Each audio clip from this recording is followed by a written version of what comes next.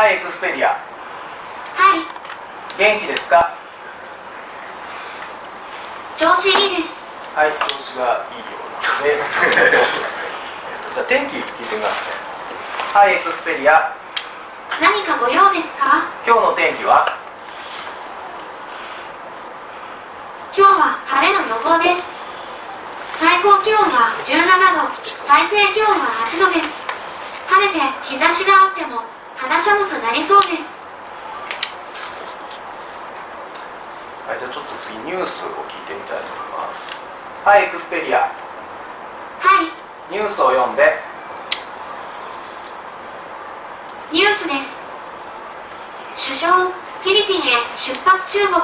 李克強首相と会談へ南北共同安倍晋三首相が12日午前日本時間同日昼ベトナムでの決定を終え新不禁止の友人仏ルーブル初の海外ニュースをもっと読みますかニュースを終了しますはいという以上ニュースでした。で次ですねちょっとコミュニケーションということで、えっとまあ、渋谷さん LINE を使ってですねちょっとメッセージを送ってみたいと思います。はいエクスペリア。何でしょう？渋谷さんに動画を送りたい。千葉さんを選んでくださいででもなんで僕が緊張してるんですね。もう一回やってみます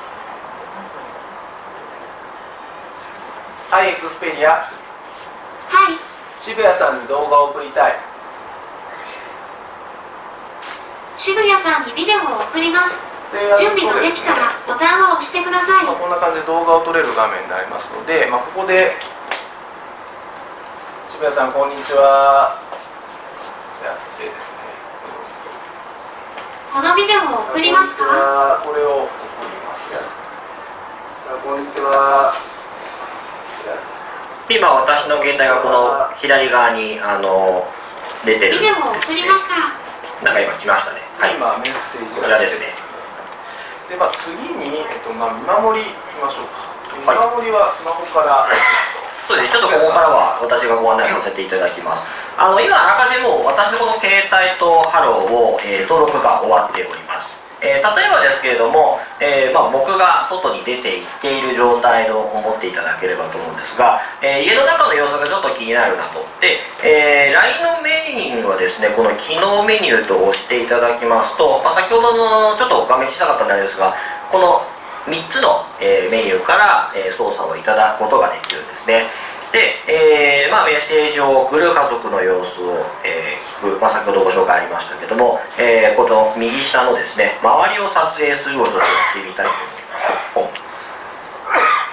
まあそうするとですね、えー渋谷さんが部屋を撮影しようとしています。こんな感撮じで。影していいですか？まあ、ご家庭の、えー家族の方にですね撮っていいですかということでですね、えー確認がまず入るんですね、えーもちろんここで、えー止めることも可能ですし撮るっていうことも可能になります、はい。それでは撮影します。321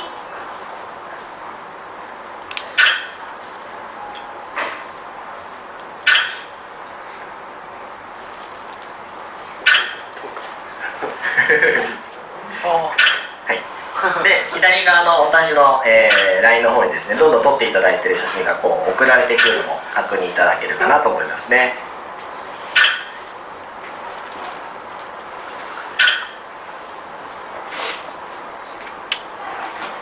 はい。